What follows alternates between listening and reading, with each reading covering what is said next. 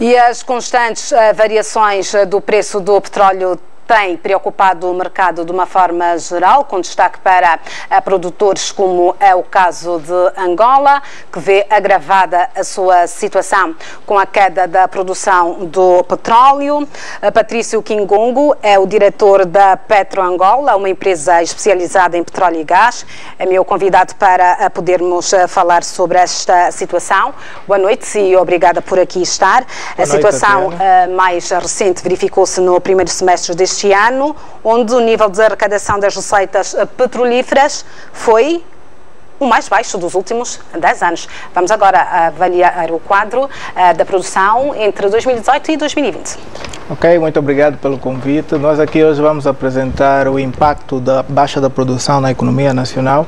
Uh, é importante fazer aqui uma indicação daquilo que é o petróleo na nossa economia. Nós olhamos, por exemplo, o petróleo representa entre 90 e 95 e 97% das nossas exportações, também a nível de, do nosso PIB. O nosso PIB é extremamente petrolífero e o nosso é também, nos últimos três anos, tem uma média de 70% que é petrolífero. Né? Nós olhamos aqui, fizemos uma análise da produção desde 2018, 2020, olhamos a variação e temos uma queda de 7% ao ano, ou seja, perdas mais ou menos de 105 mil barris de petróleo dia, de ano em ano. Né? Se nós compararmos com o ano 2017, foi um acumulado de 250 mil barris e Angola perdeu por dia, por exemplo, cerca de 15 milhões de dólares na produção. Estamos a falar de um valor muito alto é muito alto e isso aconteceu por várias razões, mas a mais significativa é o facto de nós, nos últimos 10 anos, não termos feito atividade exploratória, ou seja, nós já tivemos o boom de petróleo em 2008, 2009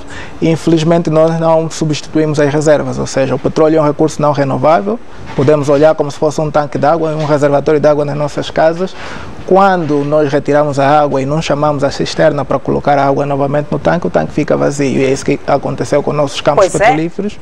É. Agora baixamos na produção e também na exportação? Também, exatamente. Nós somos um país que cerca de 99% do nosso petróleo é exportado e é como se fosse chapa ganha, chapa gasta.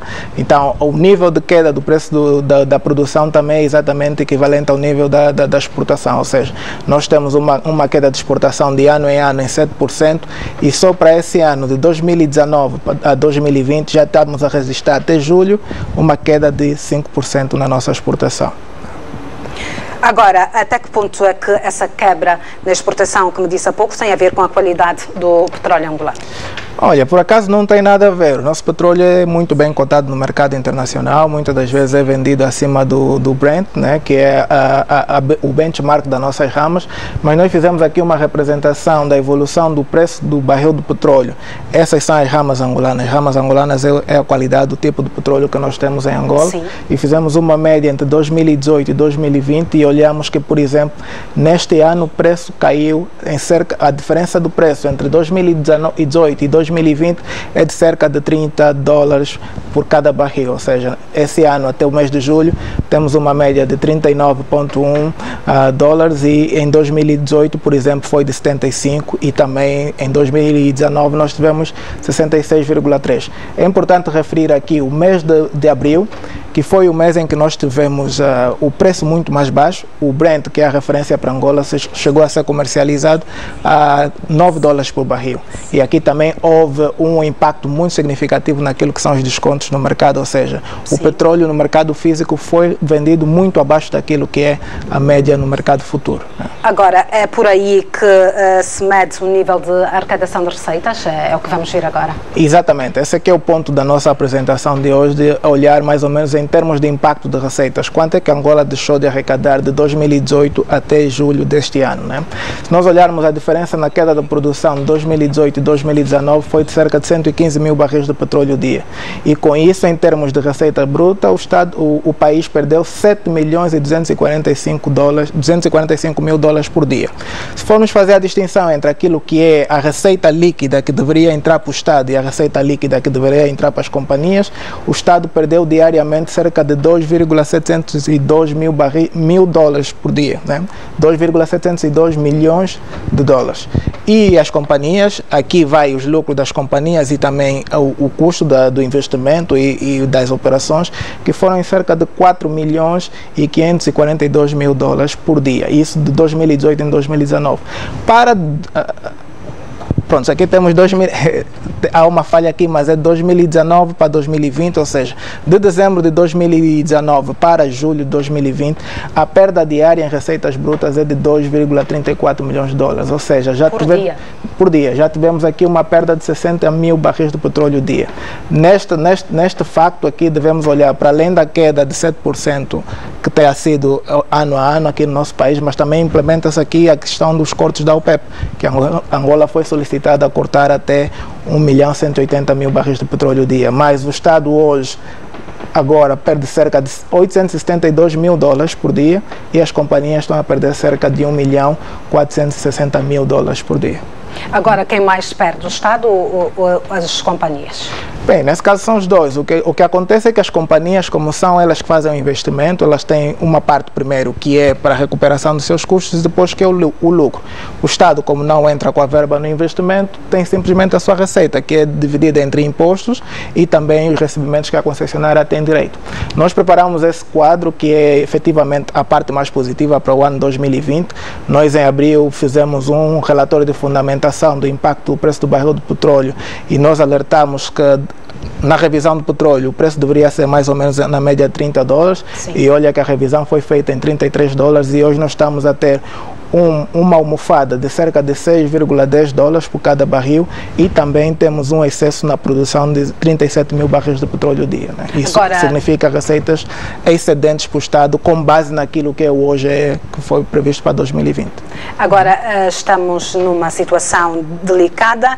O que é que deve ser feito para inverter este quadro negativo para um país como o nosso, que depende quase que exclusivamente do petróleo?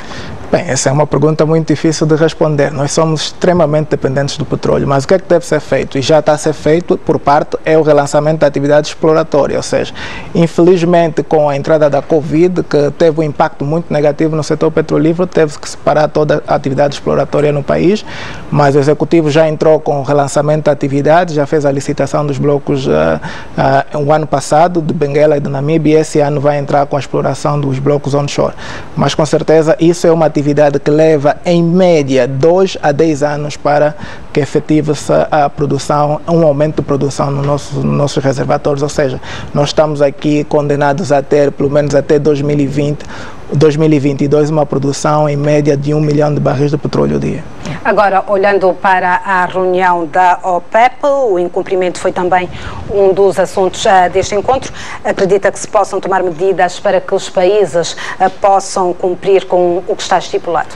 Deve-se deve tomar medidas e a Arábia Saudita está muito agressiva nessa questão porque a Arábia Saudita é o membro que mais sofre porque faz compensação dos cortes. E aqui houve um excedente de mais ou menos 2,3 milhões de barris de petróleo com base na média que foi estipulada na cota. O Iraque teve um, um, uma produção acima de 185 mil barris de petróleo dia e Angola também é um país incumpridor, né? teve uma produção acima de 60 mil barris de petróleo dia. A Arábia Saudita tem aqui um posicionamento muito forte no mercado e caso nós não entramos em cumprimento, os membros continuarem relutantes com os cortes de produção, podemos aqui assistir uma segunda guerra dos preços e que nada beneficia Angola, porque os preços podem cair novamente a níveis muito reduzidos e aí terá um impacto muito, muito negativo na nossa economia.